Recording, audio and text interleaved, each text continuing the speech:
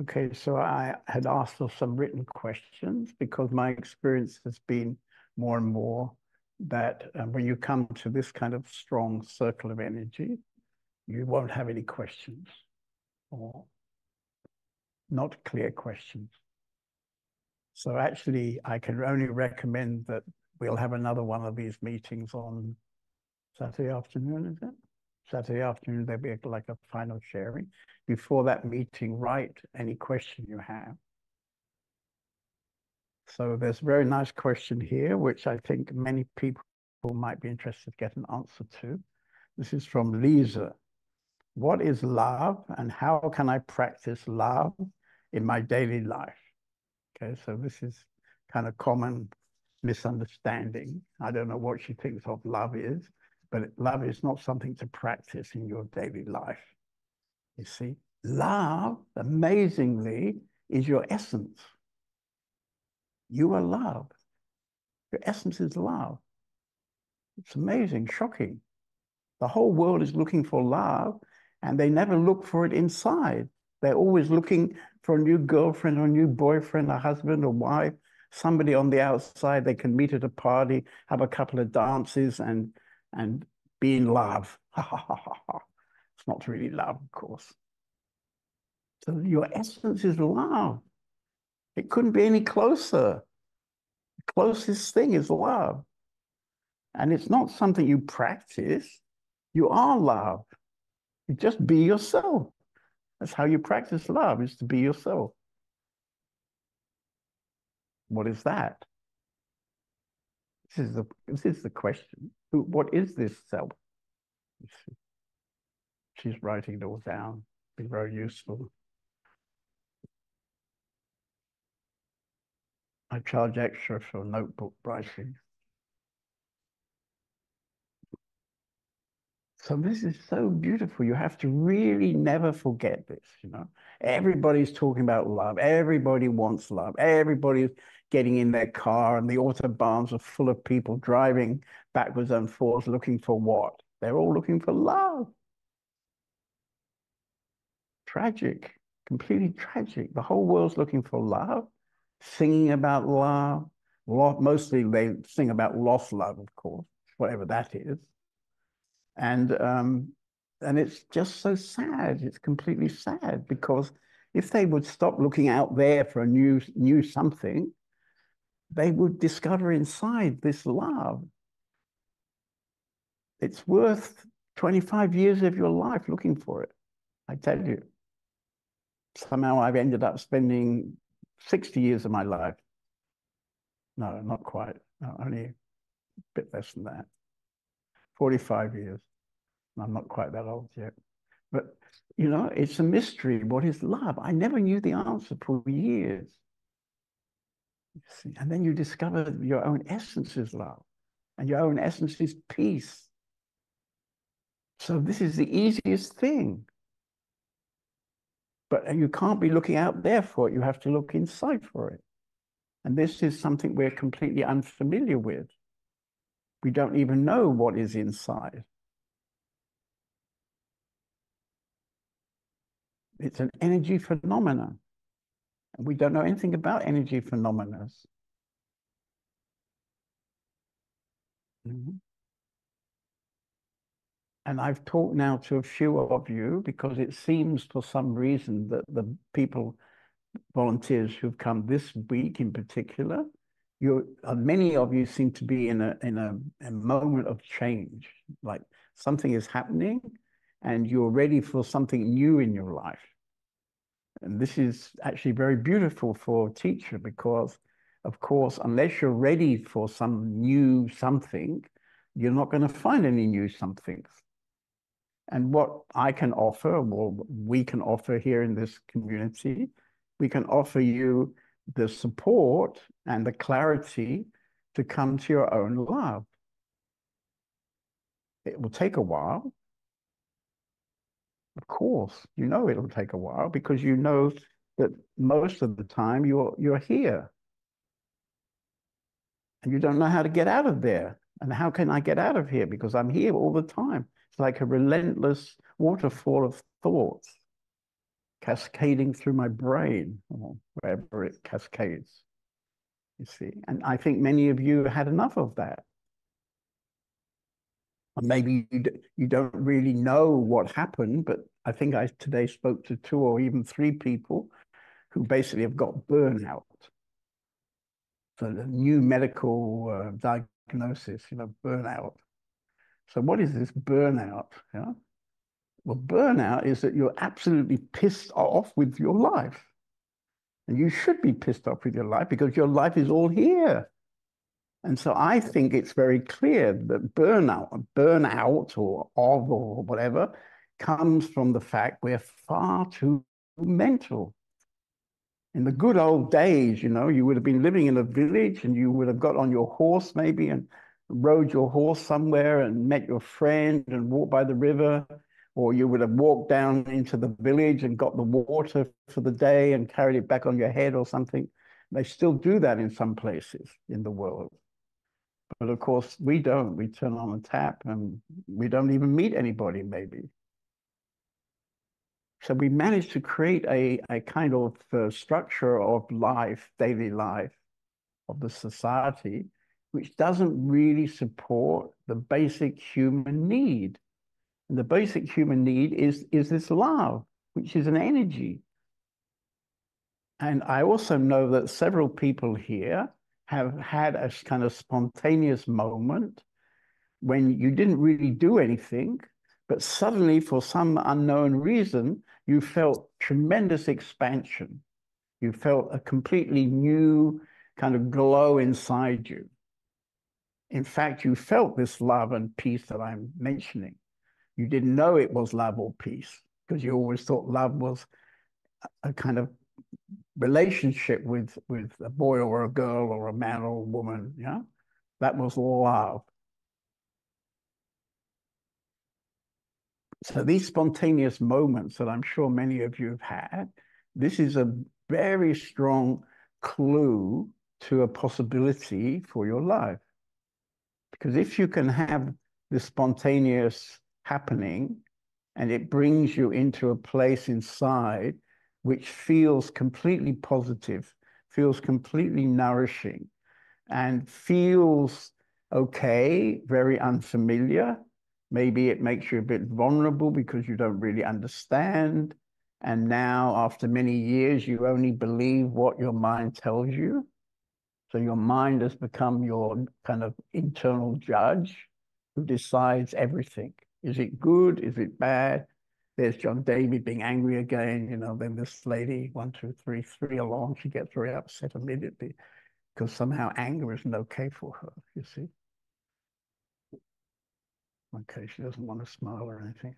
Never So everything is all right, you know. The reality is you're all sitting here and you're all exactly meant to be sitting here. You're exactly in the right place in your life and you couldn't really be doing anything else. So then you can relax, you know, the whole of your life, you can relax. It's extremely simple. It's not complicated, you know. I mean, it took me many years to understand what I'm saying. I mean, there was many years when I was busy trying to, you know, something. I was always trying something.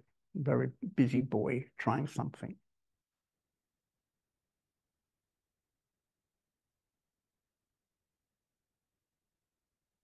If you if you can trust what's been spoken, you can start to to open yourself for trust, to trust in the things that are happening in your life. For example, as as many of you seem to be in a moment in your life where somehow there's a sort of new chapter, possibly a new book, you know, some some moment where your old life doesn't really work anymore and we don't quite know what kind of new life you could have. So this is like very vulnerable. It makes you very, very vulnerable. But it's okay to be very vulnerable. You're going to have to be vulnerable if you're going to change your life from A to B. You're bound to be vulnerable.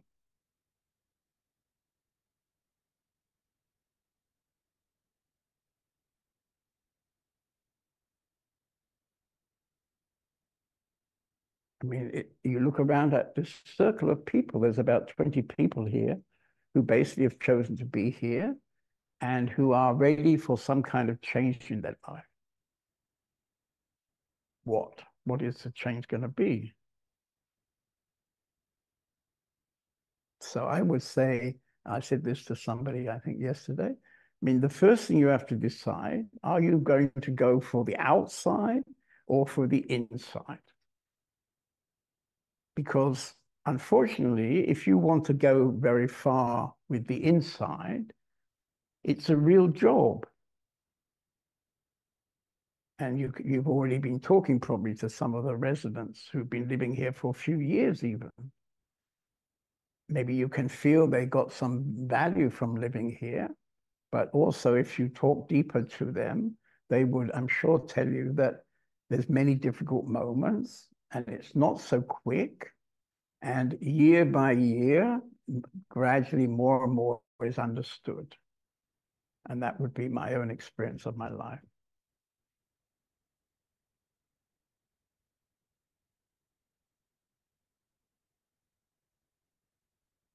So if you want to, to really make a, a shift in your life, the first thing you have to get clear is it's not going to work through your mind. That's not going to help you. That's going to help you a little bit. If your mind is connected to an intelligent brain, then that will help you a bit. But fundamentally, it's like a, a whole new kind of calibration of our life. So, of course, in the beginning, it's kind of a bit scary, bit uh, even a lot scary for some people. A lot scary. I think I've now spoken to maybe half of the volunteers this week. And I was saying basically to everybody, you know, if you if you feel touched from this place, because I think almost everybody I spoke to was saying how much love they feel here. So what is this love? Did you fall in love with somebody? I hope not. We have rules against that, actually. You're not allowed to fall in love with a volunteer, you know, because we don't want volunteers getting, getting it too complicated. We'd like you to discover that this love is inside of you. You don't need somebody to give you love. Yes, you can share love with somebody, of course. If they're in their love and you're in your love, then yes, it's very wonderful sharing love together. You only have to watch little kids. I mean, I've got this very strange phenomena where I've got these twins who are dissimilar. So it's like actually they're not really twins. I, I've always encouraged them to wear what they like to wear. So they never wear the same clothes. You know, these twins that always go around with the same exactly costume. I mean, oh, horrible, really. But I hmm. mean, luckily they're not twins, twins, they're dissimilar twins, but they're exactly born in the same moment. And they've spent, I don't know, 95% of their eight years of life together. So they're amazingly together, you see. So um, you observe little children. They, they're not asking, how can I practice love? They are love. How can I practice my life? Well, just start doing it. You know? Be open. Let it. Let your life uh, develop from moment to moment. Stop resisting. Stop saying no. Dangerous, scary. Saying yes is much more scary than saying no. Just feel it out for yourself. I mean, Miss Honeybee is our expert in, in no, but I'm telling her this so many times. I think gradually it's uh, disappearing a bit. Maybe you don't need to ask the others. No, I'm asking you. You see, this is this is how she says no. She did you notice? She didn't say no. She said ask the others, which is exactly no. She's very clever with her nose. I think it got better. Ah. Okay. Good. Well, I'm happy to hear that.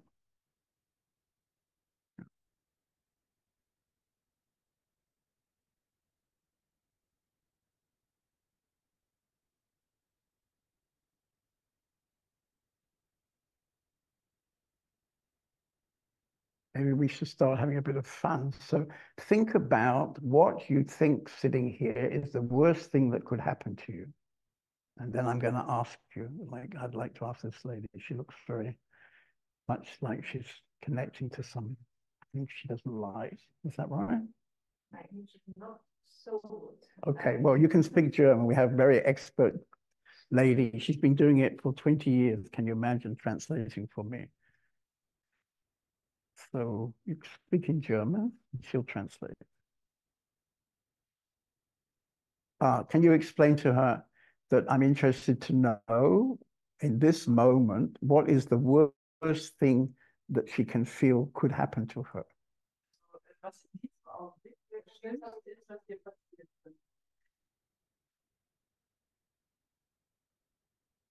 Well, for example, you're sitting right next to the fire, you might get too hot. Have you thought of that? You're sitting right there.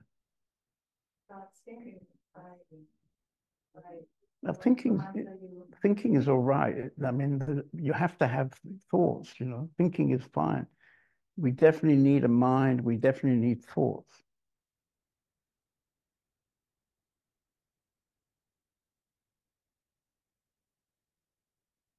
Okay out of this love and feeling. Well, you were sitting there, you didn't look as if you were feeling much love. Well, I've just, I can, I don't know you. I've never met you before, but looking at your face, you didn't look like a happy bunny. You looked a bit serious. Therefore, I ask you this question.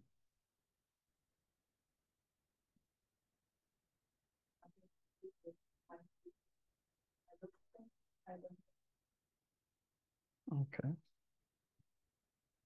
But now it's different. Now you look different. Your eyes are sparkling and your face is different. Can you feel that? That it is different?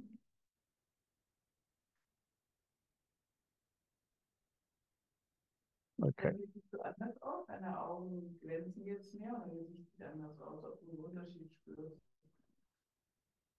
Yeah, my head shakes, my, my heart, perhaps my heart is a little bit more beating.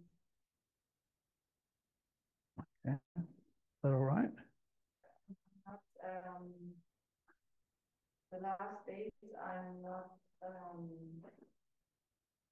I'm not used. I'm not used to think about such things. Äh, bin ein bisschen aus der Übung darüber nachzudenken, wie es mir geht. I, I, I'm a bit out of practice to think about how I am. Okay, good. So is there any volunteer, because uh, probably half of you don't really want to talk.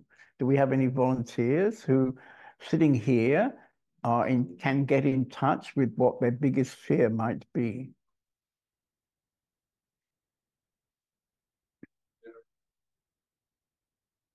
I I think my question is kind of stupid that I wrote to you. I haven't got to your and question. Was that your question? No, that was Lisa. No, my question was that I'm. I don't think I've got any questions from you actually. Oh, yes, I have. Yeah. I can pose it. It says you don't have a question, so I guess I don't have a question from you.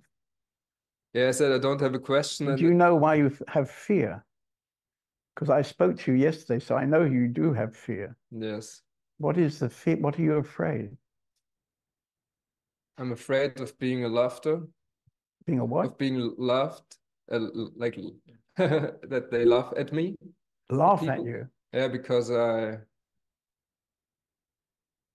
I'm afraid that people might see that I'm very stupid and silly and just laugh at me and. All right. Okay.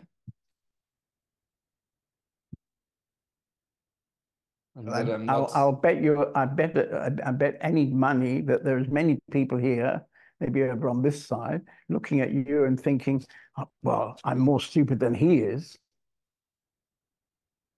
some of these guys over here, they're feeling I'm much more stupid than him.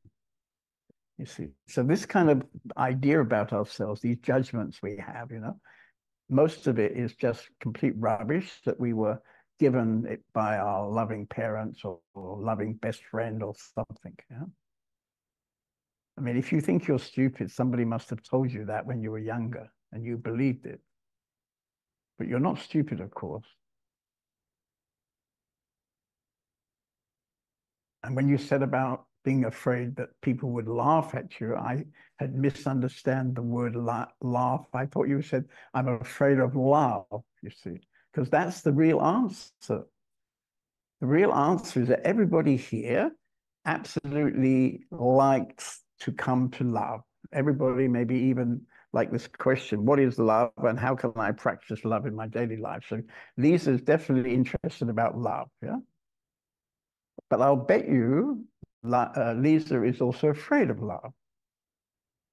Most people are scared shitless about love, you see. Why are we scared shitless about love? That's supposed to be what we all want. Aren't all these people driving up and down the motorways looking for love? Are they afraid of love? Of course they're afraid of love. Why are we all afraid of love? Anybody know why we're afraid of love? Yeah, weil wir nicht so geliebt Because we don't get loved how we are. Yeah, that's one reason. Yeah, we don't get loved as we are. It's very common in happy families with loving parents, ha ha ha, that we get love in a kind of transaction if we do what the parents want us to do, if we behave in the right way, then they love us. And if we do something like, I don't know, make our hair a wrong color or cut all our hair or I don't know, wear some crazy clothes, then we're not loved anymore because, you know, it's a, it's a transaction. For many people, it's kind of transaction. But that's not the real reason we're afraid of love. We're afraid of love because if you really come to your essence and you really experience love, right, then this doesn't work anymore. This me doesn't work anymore. And I'm completely identified with my me. That's my whole game, you know. I've got years and years of me. That's the only thing I really trust. That's where I always go to get to decide everything. That's that's that's what you know. But that has to go if you really want to experience love. You see, so as you start to experience more love, like some of you are experiencing now love here in this house, in contact with the other people, with the contact with the kind of energy that sort of hangs in the house and around the house. When you get more and more in contact with that, that brings you more in contact with your own love, then you can realize that you can't think so much. And the spiritual work is, is to get rid of, not to get rid of the possibility of thinking, because you definitely need a mind and you definitely need sometimes to think. But you don't, what you don't need is this massive suitcase of old thoughts, old memories, old stories, old structures that you love to kind of pull out of your suitcase. You know, we're all carrying on our backs this huge box of old uh, archived uh, stuff. And we call this box me. Ha ha ha. So we, of course, we're not going to feel comfortable when this me starts to dissolve, you see. And the closer you get to the to the authentic love, to your authentic nature, the less you're going to be caught up in this old stories from your from the past. So this is actually very shocking. I mean, from the residents who've been living here for some time, they've already been through this kind of process, and they're not sitting here very afraid of that. But if you if you are still very new to really looking inside, then it can be very scary to discover that your essence is love, but then you lose this stuff. Mm-hmm. Yeah, a bit scary. Nora. Okay. So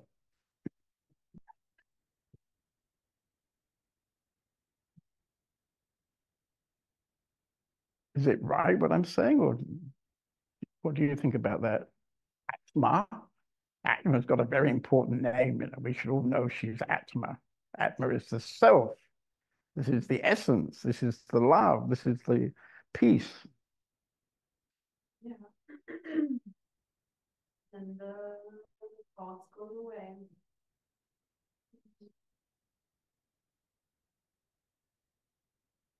Is it nice for you that now maybe for a month you've been living with maybe less thoughts?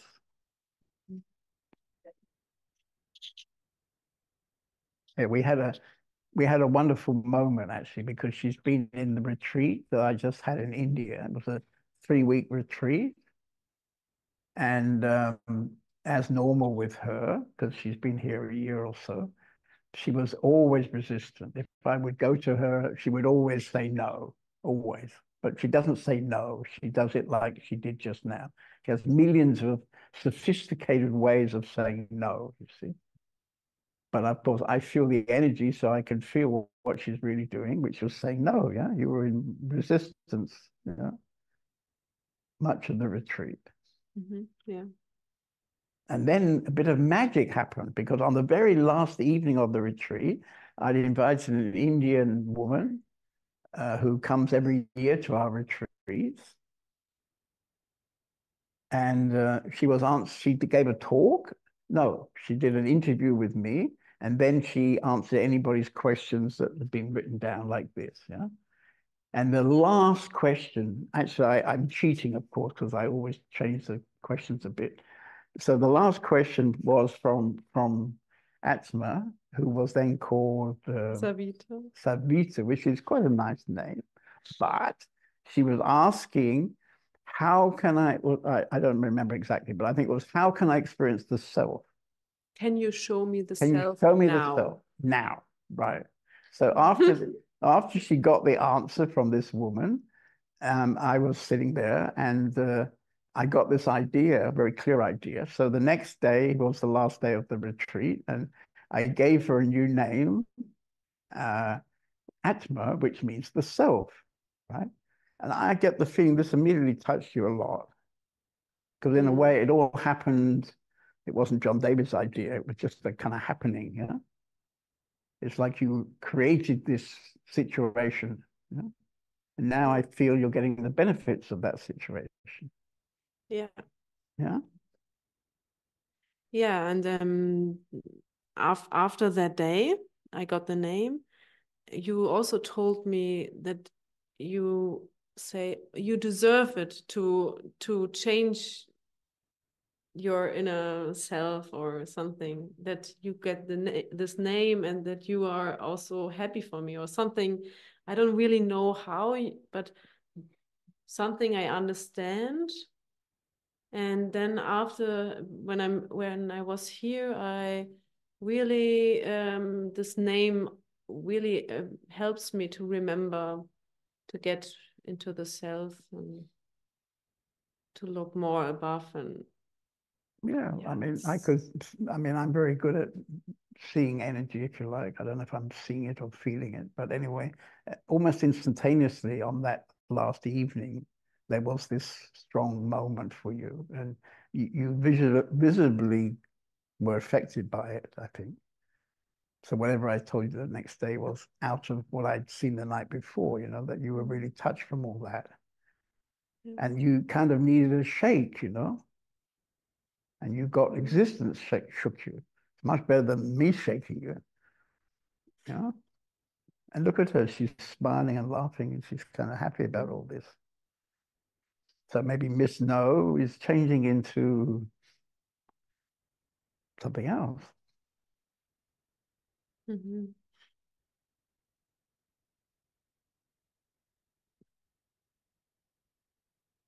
She's a a bit curious if you have a chat with her, because basically for one year now, she's been in resistance. She's been saying no every day for one year. And now it's really beginning to change, yeah? Do you feel something like vulnerable or strange or a bit scary or something like that? Mm, yes, I'm not sure, but yeah, I'm letting something more through me. Right. So I allow um, something more is coming.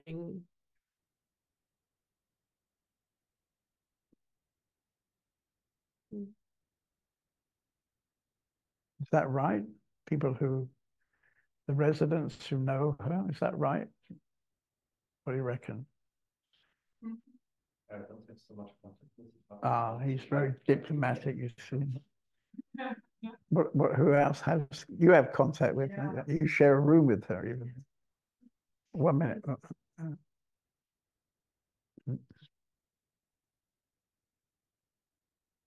Yeah, it changed a lot after India. I mean, the first two weeks after India were very strong. We were very, very open. After that, I think it settled a little bit, but still, yeah, I feel you're more, more there, more open to things that are coming, and um, yeah. So this this name is very beautiful. To speak it, to see you in it, and yeah, I was surprised for when I came back. I came later than you uh, after the to back, and then she was so open. We had such a nice contact again, and um, yeah, just beautiful. It feels very natural, very natural for you to connect to it. Of course, everything you said about her, she could be saying about you. Because you also, well, you were not so resistant as she's been, but still you were not comfortably relaxed and present. You were Yeah. often lost in the, what we call the dinosaur past of your life, yeah? Yes. yeah. And there's also a shift now. Would you say that's true? Do You see that she's also had a shift? So I was very close in India, so I cannot compare to that, but um, before, yeah. Yeah, I, I, there was always something between us. Um, and we wanted to solve it, and then we talked mm. about that. We said, "What's the, what's between? What's going on?" And I think that's right now. There's nothing for me. Yeah.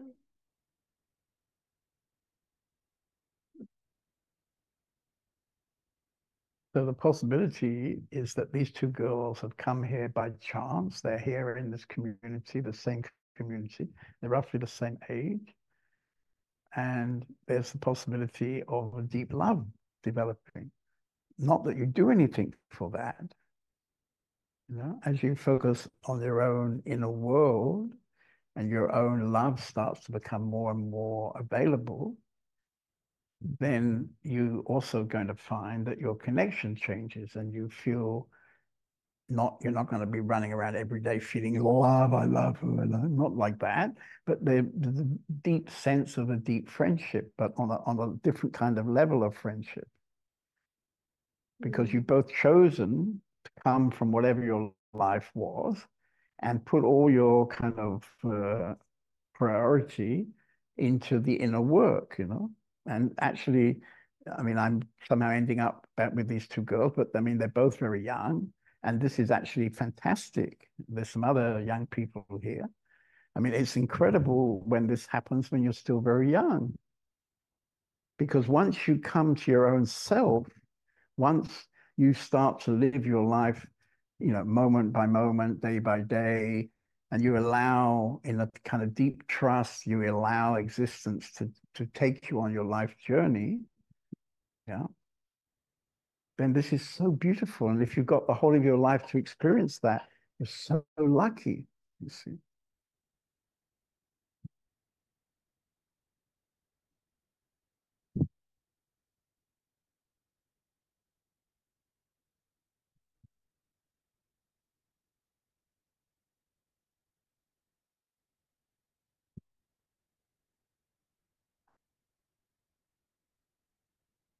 So Lisa's got another sweet question here. It's the same question, really, but a bit different.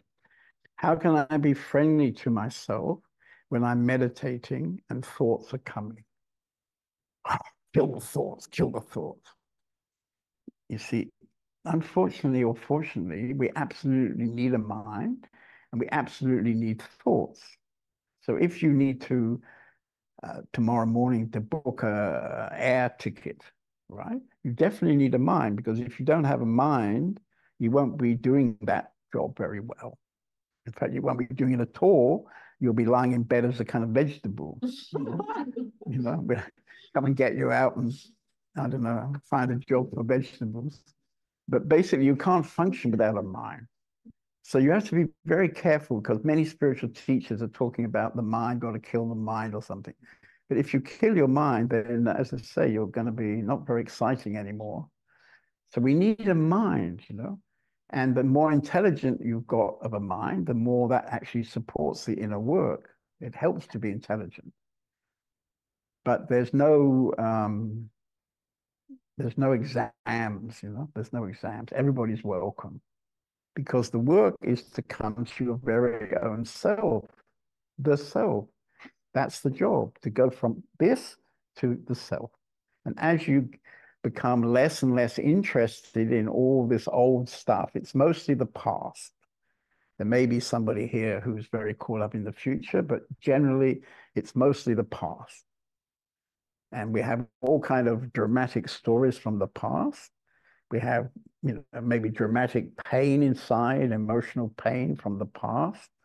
So we're very much looking always in the past.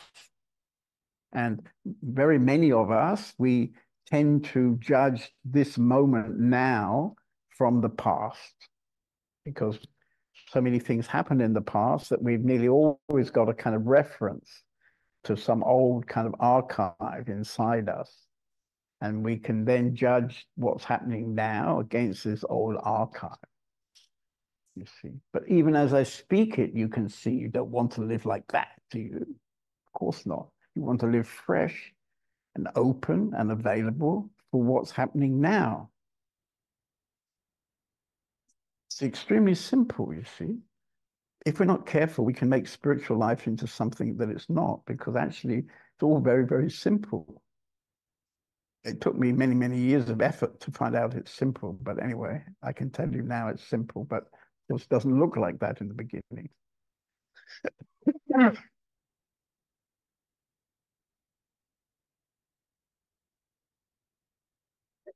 Ah, here, here's well, I'm gonna, I didn't answer that last question. Well, this thing about being friendly, yeah, being friendly is a bit the same as love, but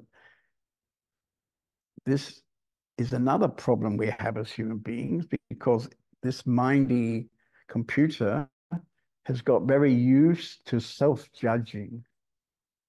We self-judge ourselves really a lot, you see. This is also terrible. It's a terrible sabotage, this self-judgment. And of course, these self-judgments started maybe when we were young, and they were not particularly maybe our judgments. They were put there from people who were close to us, who were making these judgments about us. And we just collected um, these ideas about us. They became then our, our idea, my idea.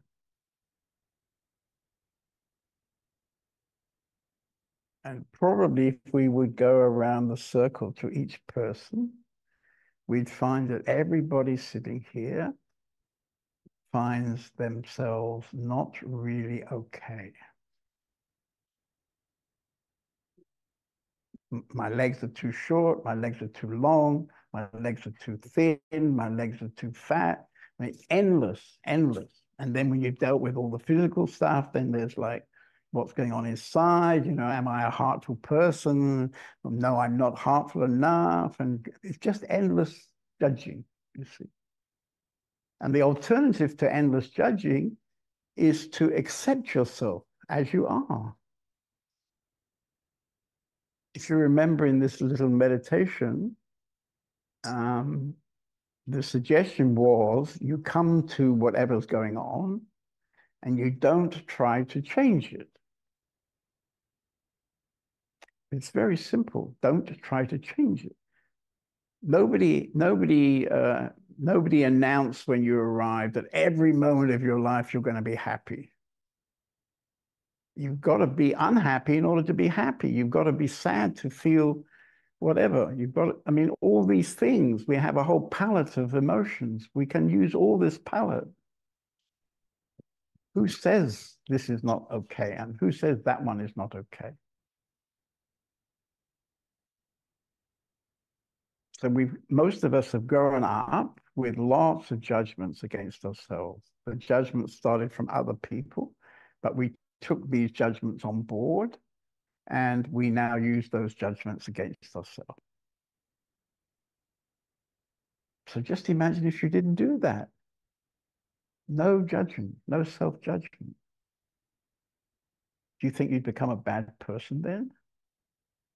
And you're only a good person by controlling yourself through judging yourself? I don't think so. Nobody here looks terrible to me. I don't think anybody's suddenly going to start doing terrible things tomorrow. Maybe Parvati a bit, but you know.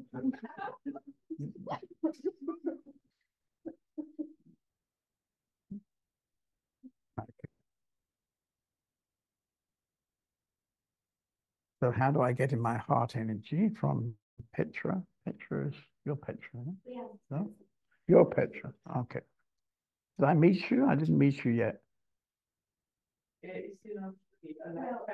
Right. Okay. So how do I get in my heart energy? And how do I come to self-love?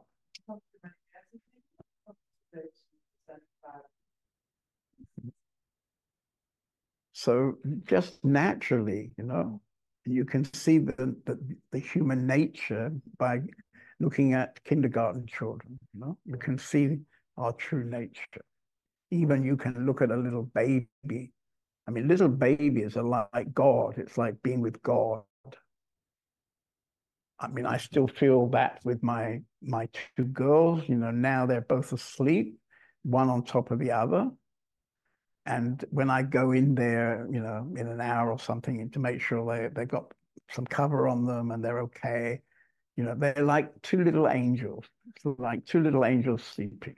It's so touching because at night when they're not talking, they're not doing anything, they're just lying. It's just such a beauty, such a beauty coming from them, such an energy. You see, and we're all like that. and We arrive like that. We're supposed to be like that. And we we for various reasons lose touch with our with our true nature, with our self, with our love, with our friendliness, with our open heart. I doubt God designed our hearts to be closed.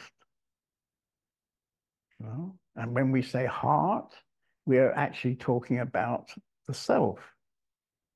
Not talking about our physical heart. We're talking about what you can call the self or you can call it the heart. And this is basically a, a big yes. It's a big yes to each moment of life, being touched by life.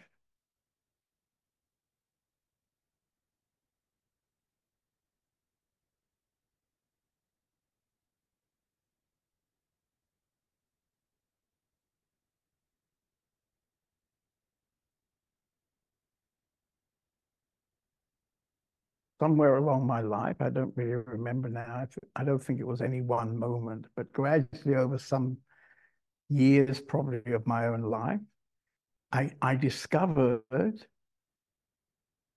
that rain is all right. And a lot of heat is all right. Cold water is all right. In fact, all the things I thought weren't all right, I discovered they are actually all right. And that you actually need all those things in order to experience the other things which you think you, you like, like warm water.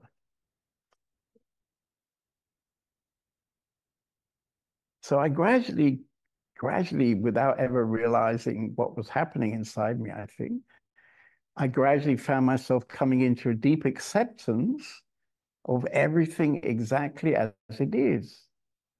So if it suddenly rains, well, I'm from England, so actually, uh, you know, for me, rain is like sun for a Spanish, you know.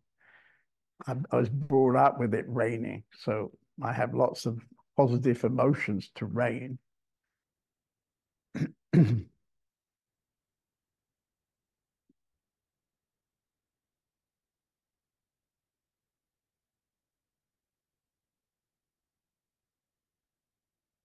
So Marcel is very ashamed because he doesn't have a question, very ashamed not having a question.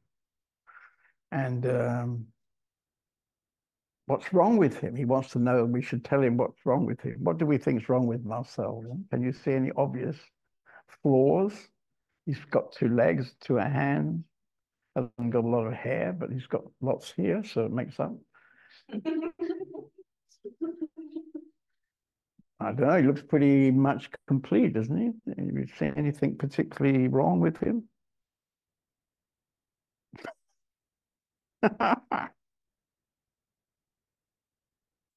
Actually, the, reality is that, as I'm told by people who meet you during the day, you're very touched from being here, obviously in, in a place that's right for you. And you obviously already very open because you can easily uh, experience what's happening to you here, you know. So actually, is there anything wrong with you? Probably not.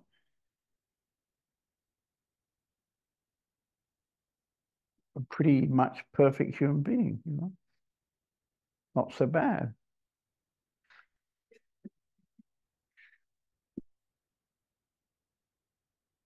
And when you when you look around the circle at all these funny people sitting here, you look at them all, they're so strange. Look, Look at them all, you see. But actually, everybody's all right, you see. We're made up of millions of strange creatures called human beings. You know? We're all all right. And we're all probably doing what we're supposed to be doing. And we're probably exactly where we're supposed to be. And everything is actually okay. And that's the invitation. The invitation is to say, thank you, yes, Thank you. Yes.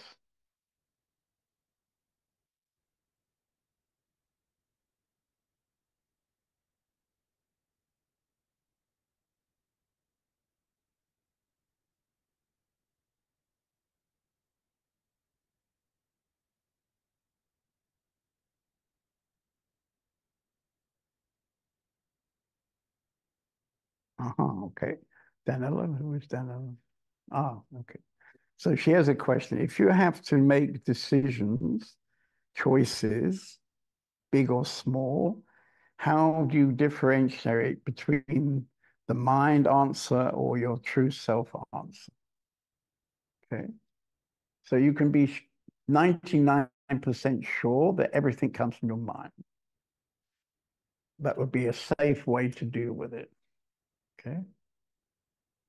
And then gradually, gradually, as you open up, you will gradually get a feeling for what is coming from a deeper place and what is coming from old memories. You just get a kind of experience and you just know, oh God, there's my mind again. You see, and and with the intuition, it often pops up unexpected, you know. You have something to decide, and then there seems to be no reason, but suddenly you're just completely clear. That's right. That's what I'm going to do. That's what I want. That feels the best. You see. But the mind, if you if you operate in your mind, which probably most people here operate in their mind, and I operated in my mind for 47 years or something, spiritual mind, of course, in my case, yeah. But it was all mind, thoughts, most of it in the past. And, and it's just so different when you're trying, when I think back to my younger time, to the times when I was trying to make a decision about something. You know, it was excruciatingly horrible how I did that. You see, endless kind of good things, not so good things, but all going on in my mind. And I never realized that when I was deciding things like that, I was deciding from the past. And most of it wasn't even my past. Most of it was the past of other people who put it into me. So it seemed then it became my past. But most of it wasn't really my past. Most of it was like my parents' past, you know.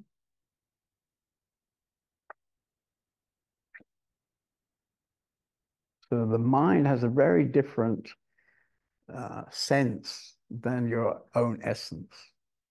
And your own essence is capable, boom, of the answer, the right answer for you, boom, just like that, like a, a completely instantaneous, um, complete package comes out. And you just know, because it feels very deep inside, that this is the right thing for you. Even if everybody else says it's not, but for you, it's the right thing. So this is a very beautiful part of us to develop because it's gradually becoming like our own navigation. It's like we have a navigation, we have a sort of biological navigation system where we can always get the answer and we follow this answer. It leads to other, other things to open up for us. Sometimes I like to share something about this community, you know, that this community has been running for about 21 years. And I can hardly believe it when I speak it, actually. But in this 21 years, we never had a political drama between two different groups of people or three different groups of people who had different ideas it's very strange, actually. I'm always amazed that somehow we always come to a kind of consensus. We always come to a kind of, yeah, let's paint it green or something, you know. And this is not so such a small thing because this is the kind of kind of harmony, you know, the kind of harmony. Is it right what I'm saying? Do you reckon? You've been here many years, yeah? Is it, isn't that roughly true? You never, she never even thought about it. Mm.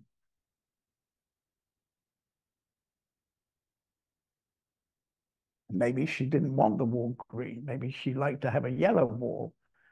But all the people over here wanted a green wall, so we painted it green. And then she was the only one who wanted yellow. But she doesn't care, you see, because she knows it doesn't really matter. And she knows that, you know, next week we'll paint the other wall yellow or something. And who cares anyway if it's green or yellow? I mean, it's not such a big deal.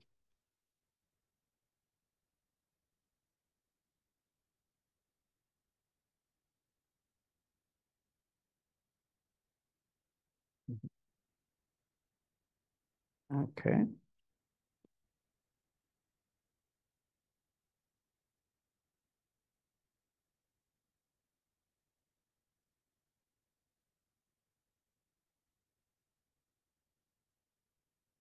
So he, Volk, Volkmar over here, he's got a question about souls. Is there something like soulmate, related souls, and how do souls meet again and again? You're not talking about this kind of soul. Hmm? No? No, no, no, I don't mean shoes, I mean human beings. Human beings. Human beings. uh, Oh, the soul of a human being. thousands, thousands of years. Thousands of years, millions of years.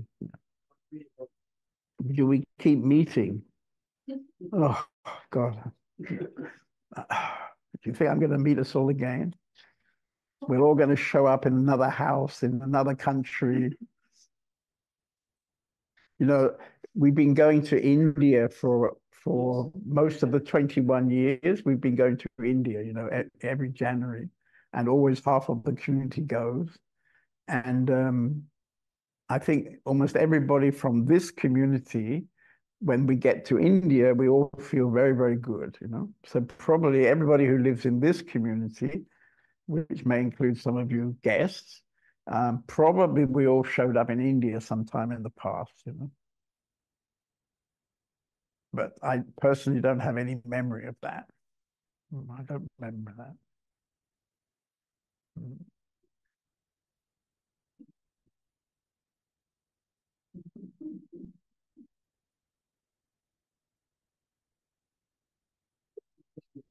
Weil es gibt ja so im Buddhismus diese Vorstellung, dass Buddha bei einer Erleuchtung oder andere große erleuchtete Meister in Indien oder in China oder in Japan, dass sehr Erinnerung hatten. an die. I asked this question because in the Buddhism, for example, or other great masters like Buddha or whoever, they have memories of past life. And therefore I asked this question. Yeah, I mean, the, the Tibetan, uh, Buddhist Tibetans, they're very uh, involved in, in past lives. Yeah. So you probably know that, that before Tibetans leave their body, they somehow arrange where they're going to show up again. Yeah. And if you're important enough, if you're the Dalai Lama, for example, they when when the Dalai Lama leaves his body, they have a, a number of his personal possessions.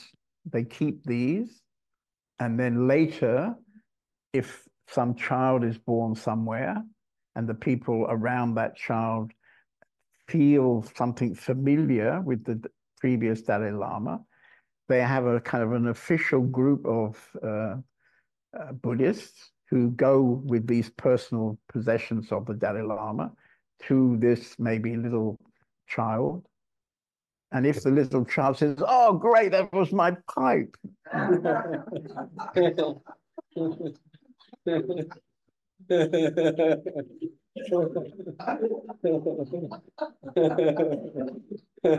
then immediately, immediately, you know, all kind of people kind of start taking care of this little child in a different way, maybe.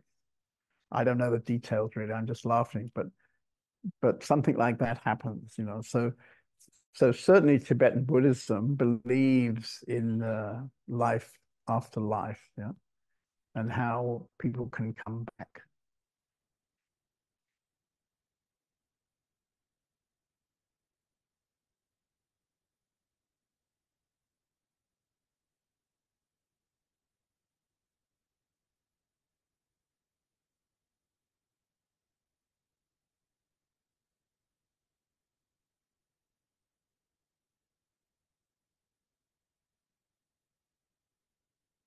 I don't know the answer really. I mean, I have personally a very strong connection with Ramana Maharshi. You know? I didn't meet him, but anyway, I have a strong connection to him. And uh, you know, when he was um, he, when he was sick and he was going to leave his body, everybody could feel he's about to go, and um, everybody was very sad, and they, you know, didn't want him to go, and so on. And then he said to his disciples, "Where can I go? Where can I go?" And I can I can share that um, I think most of you know that about two two years two two plus years ago, there was um, put up on Amazon a about a one and a half thousand page book or document uh, manuscript of what Ramana Maharshi was talking about in 1936. So for six months, there was a young Indian man, rather well educated, who'd read many English, classic English books, novels. So he had a very good English. It, it's old fashioned compared to now, but it's very good English. And observed the goings on of the ashram for six months in 1936. So when I, two years ago, came in contact with this material, it was immediately very touching for me. And I started to um, kind of um, investigate and choose, select what I thought were interesting dialogues. And gradually, gradually, I can say this gradually became more and more clear and strong for me that this is really Ramana's words. It's really Ramana talking. Because working on this material, I could often feel a sort of presence from him. This is, of course, a bit subtle kind of thing to say. But what was interesting is that, in fact, the ashram, the, his own ashram, had decided two years before I saw the material, they were offered the material and they didn't want to publish the material. So this was a bit interesting because I, I I talked to some sort of experts and I talked to the ashram and offered that we could help them publish this material. And the answer was they didn't want to publish it. They don't trust that it's really genuine Ramana material. Yeah. That was from the official ashram. And for me, I I never really had a doubt. I was never completely sure, but I never had a doubt And gradually, gradually, since we published a book of selected um, material from the original manuscript, there's been several kind of difficult moments, we can say.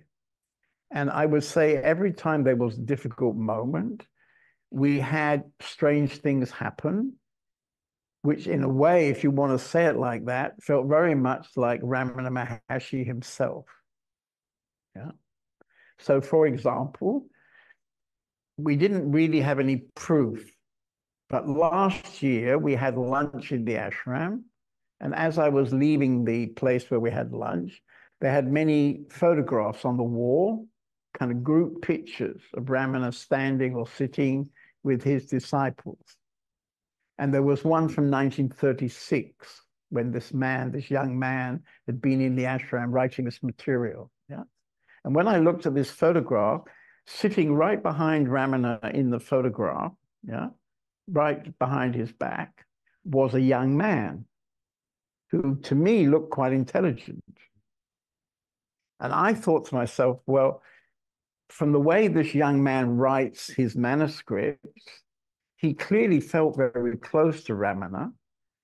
And he described sometimes how Ramana was um, apparently very um, open or friendly to hit this young man. So it seemed to me when I saw this group picture and I saw this situation, I felt very strongly that young man could be the guy that we're looking for. This is a kind of proof that that young man maybe wrote this manuscript. Yeah. I told it to the president of the ashram. I asked him, maybe you could check the date of that photograph because the young man was only there from July till December, right? So this year, when we went to have lunch in the ashram, I looked for the same photo. They changed the photo. Ha ha ha. So the president, who doesn't want to give any energy to this manuscript, he must have arranged to get a different photograph.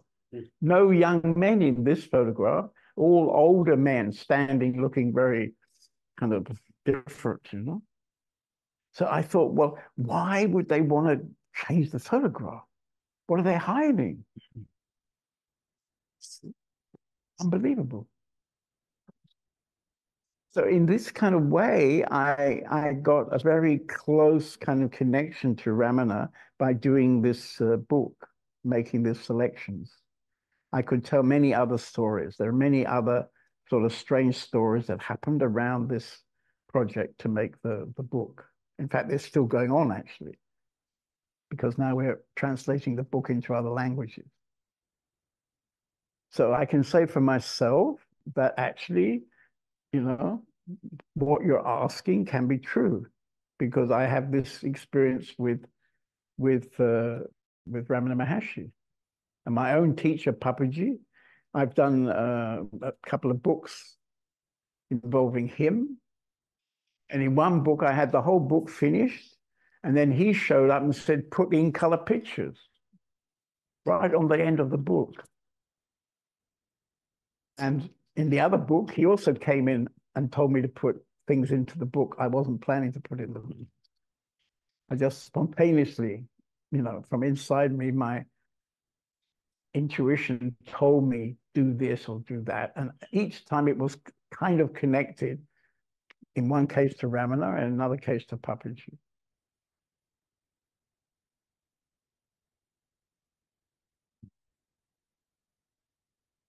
Everybody's going to feel differently about that, what I've just said. But we've got um, Mahima, would you like to share in a kind of shortened version? Because she also had a strong meeting with Ramana some months ago now.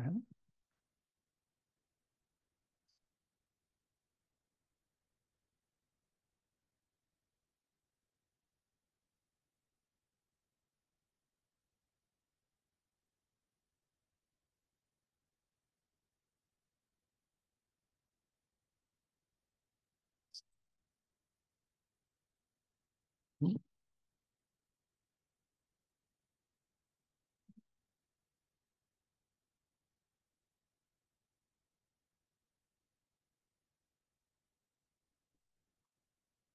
she's lying in bed with her boyfriend, and her boyfriend got up and to go to the toilet, and more or less in the same moment, at the end of her bed, you tell me when I do it too wrong, but what? He came to the just in front of her, in the middle of the bed, she saw Ramana Maharshi standing there. Yeah. So she told us this story uh, some time ago. And of course, it's difficult to talk about such things. Can you add a few words, maybe?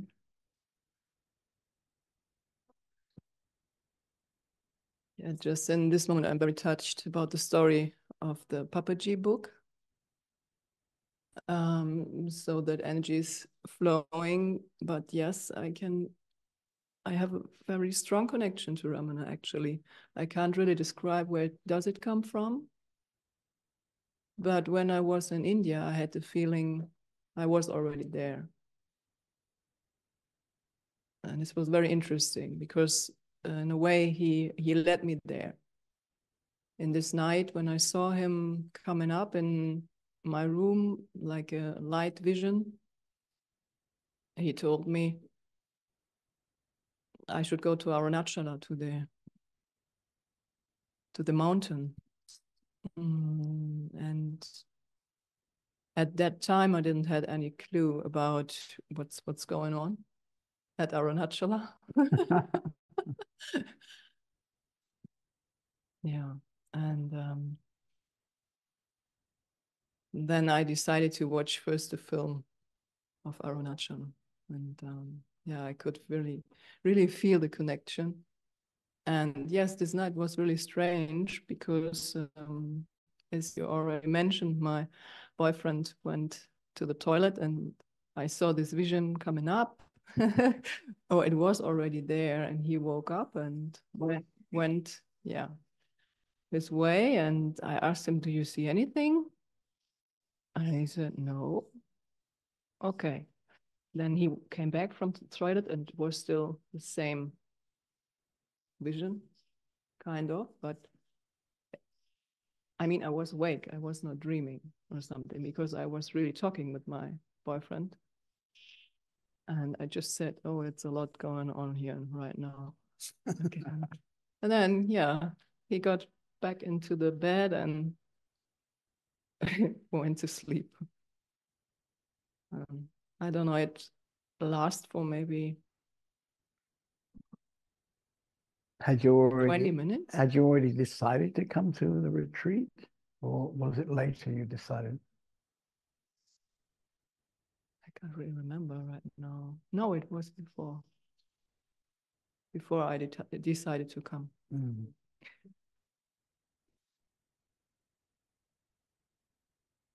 Nine months before. Mm. I mean, I've heard stories like that from many other people. I mean, Ramana, I mean, there's a famous story of, of my teacher, Papaji. His family lived in what is now Pakistan. So he was living in Pakistan. And, uh, but this story started when I think he just left the army and he had been traveling around India looking for a guru and didn't find somebody and came back to his family house in Pakistan. And there was a knock on the door. And there was a sadhu. Sadhus are men who give them, mostly men who give themselves to God. They wear orange clothes. They live a very simple life. And they beg for their food. And so this man is knocking on the door. and when Papaji opened the door, he was begging for food. And then Papaji gave him some food and then asked him, Do you know anybody who can show me God? And this was his question when he went around India. He went to all kind of famous gurus, asking them, Can you show me God? And he was not satisfied by anybody. So then uh, he, he was very interested in this idea of going to see Ramana Maharshi in South India. This sadhu said, He can definitely show you God.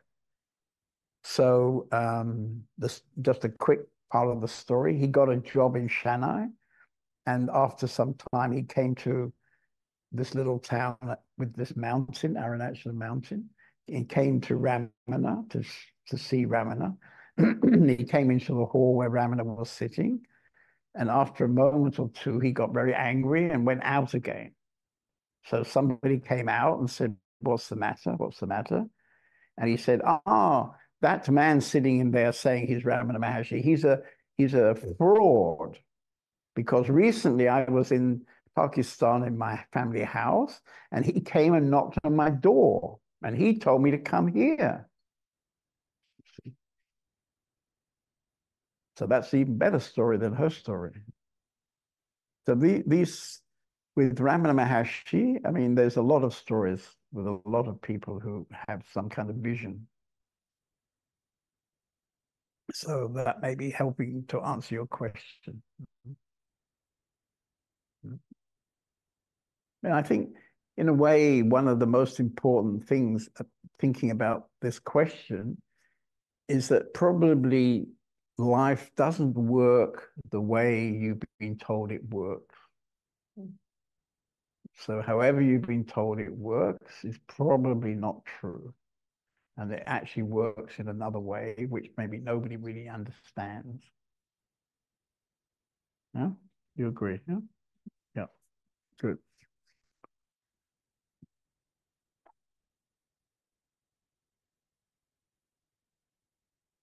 Do we still have some observers? Nine observers. Oh, very good. You could ask them if they have a good question.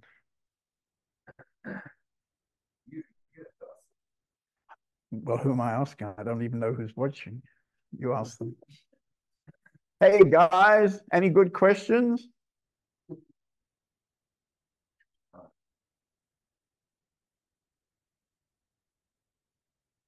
All asleep by now.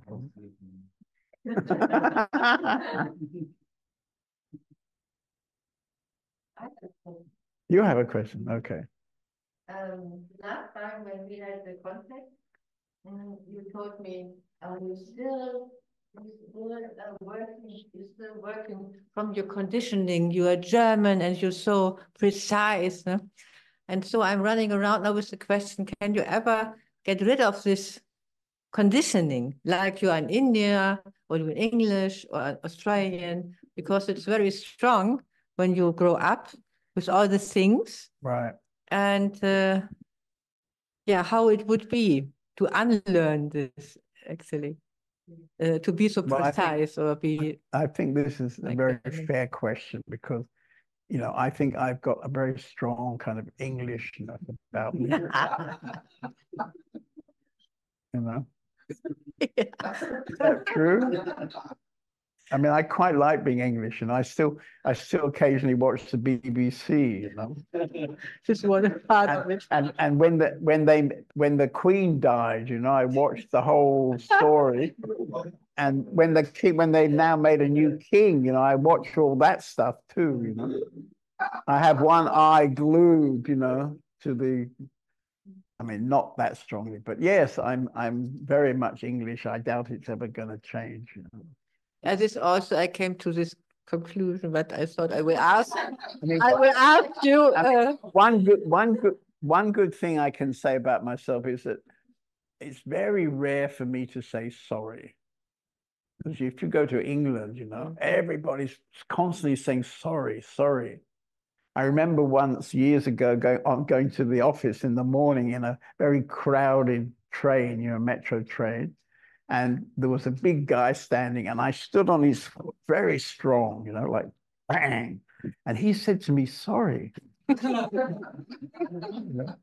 As if he, you know, had his foot there. Though he, you know, it's his fault that I stood on his foot.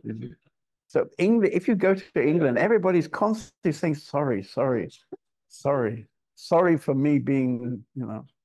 I don't think I do that very much anymore. So there have been some small improvements, but I think uh, we don't lose some of our conditioning like that very easily.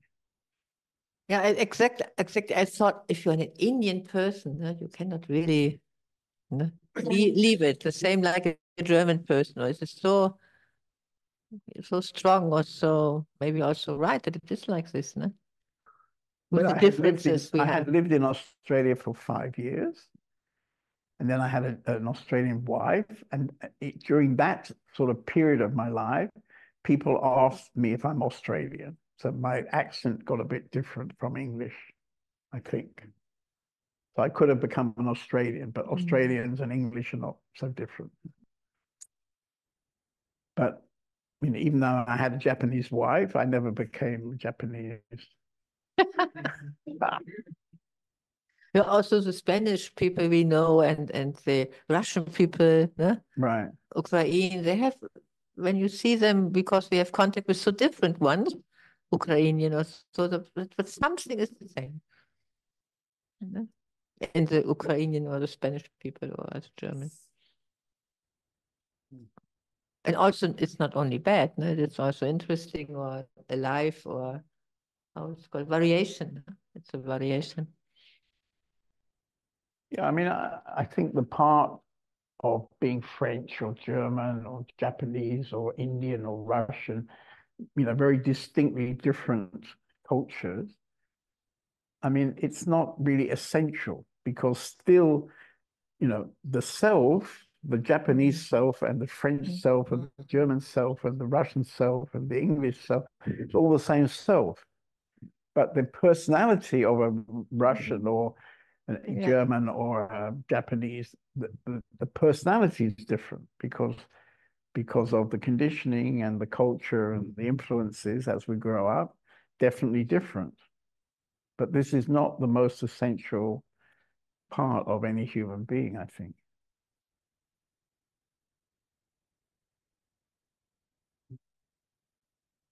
Mhm. It's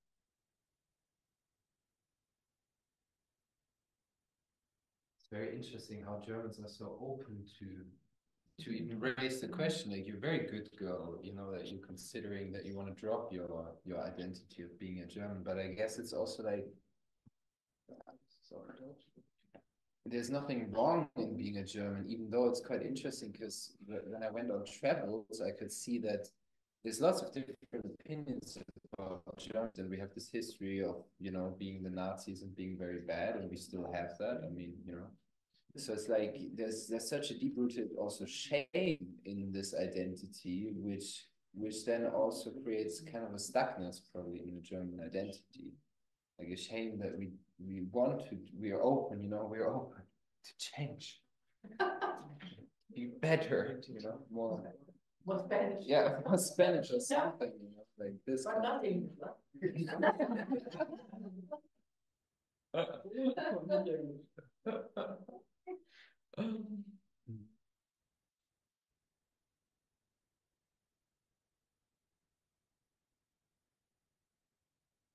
Anything else?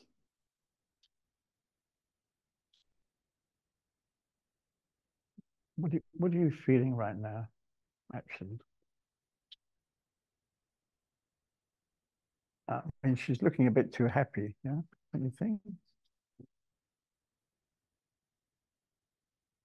Are you feeling pretty good right now? Or not? Right now, a bit tired. Right now, a bit tired. Today, everything went very quick. um, but um, two days ago, um, there was so much energy through my body, and um, one um, one longer time before before the afternoon workflow started, um, there was like very much energy flowing, and I couldn't move, and um, I was very strange move me moving, and um, when when I open up for this, what is happening, then it get got more and more. Um, and then fear came because whoa this is not this is very strange. Then got again less but then i surrendered again. Mm, and um, before i felt very like on drugs um yeah there was like a meeting with mahima and it, it felt yeah, I don't know. It's really crazy.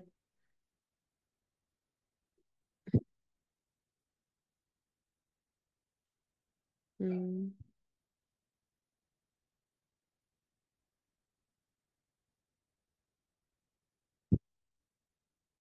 So far away from it was very far away from I do know this, I do know this, I do know this. It was, yeah, this is now coming and this is now coming and oh, this, oh. it's so new. so many new things going through and I see new so new things yeah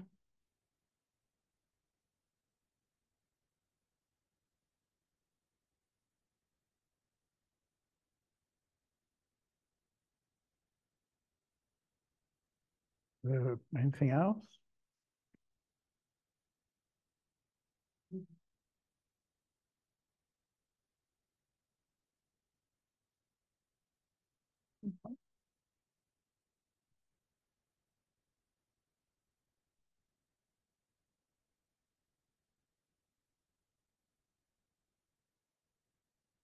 Seit ich da bin, knapp, okay, hm, weiß ich nicht mehr, wer ich bin. Since I'm here, since one week, I don't know who I am anymore. Das ist alles anders. Es fühlt sich alles anders an. Everything is different. Konzept mehr. I don't have any concept anymore. Hm. Da gibt es einen Teil, das fühlt sich total an. And partly this feels very well. Und ein Teil bin ich auch total unsicher, verunsichert. And the other part feels very insecure. Das ist so die normale. We lost the translation.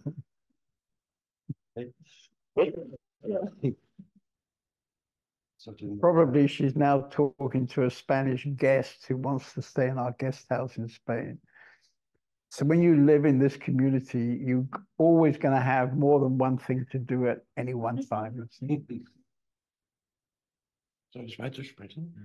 But he's going to translate. Yeah. Okay. Ja. Mm. Also,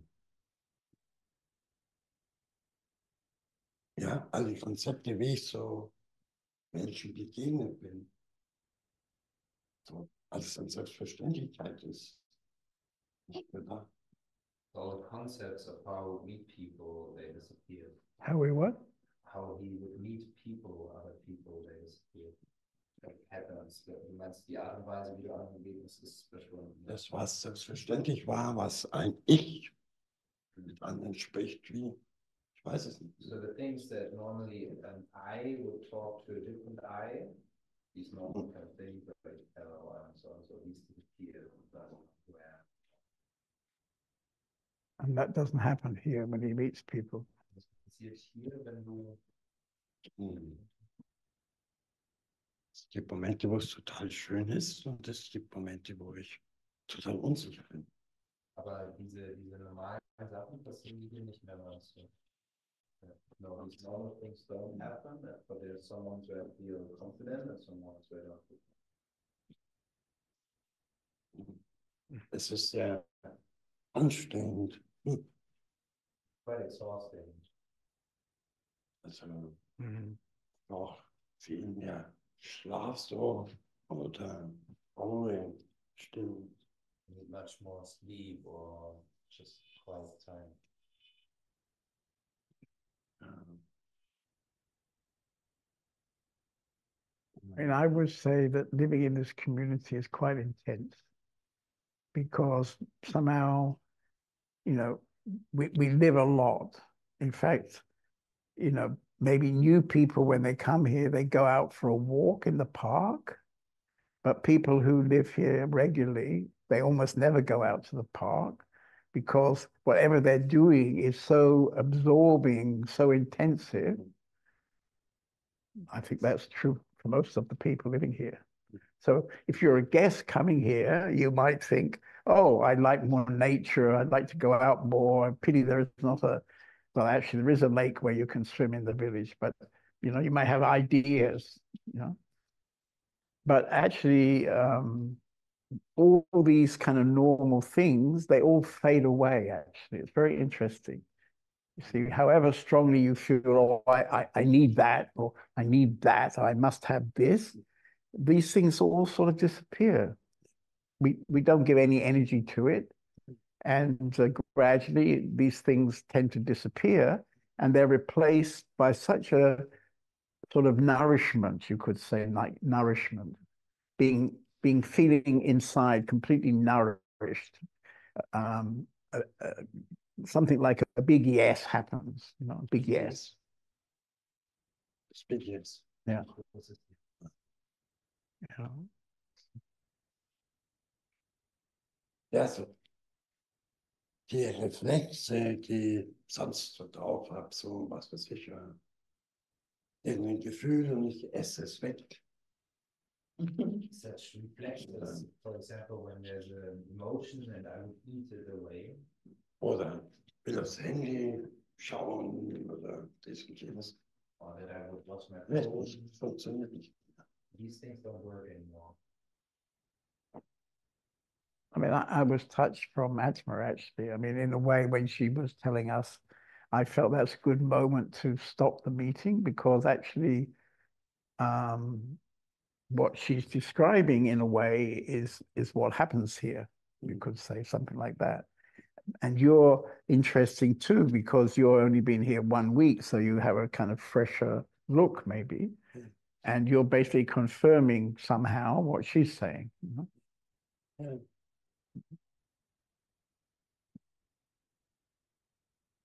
But you don't really need to understand it. No. You either you, you like it or you don't like it, you know, but you don't need to understand it. Ich nicht mal das kann ich bewerten. Even that I can judge really. What? I can't really judge that. Right. It's good or not good, I don't know. It's, uh, I have no I also don't know.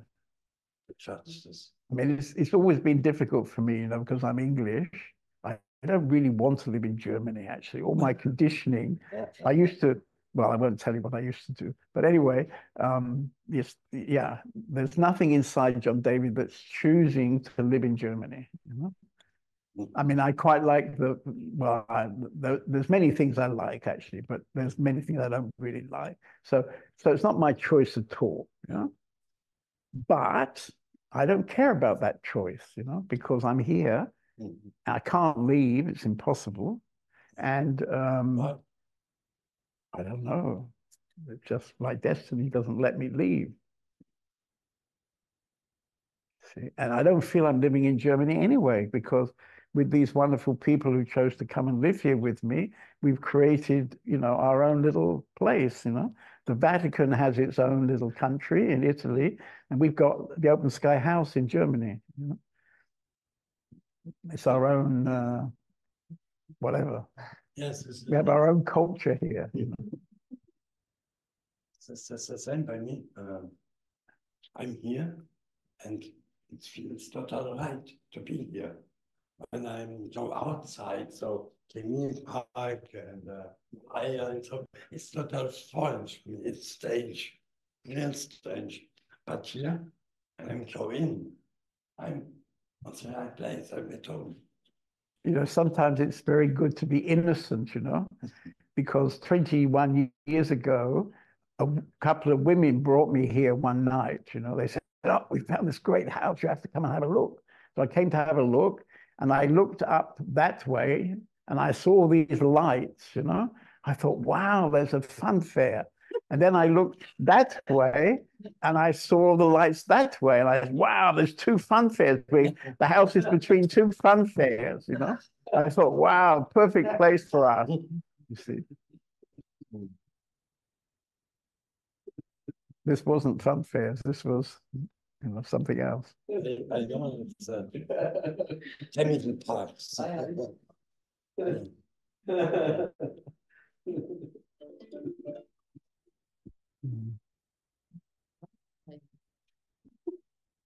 Okay, so we're going to stop in a minute. Any last questions?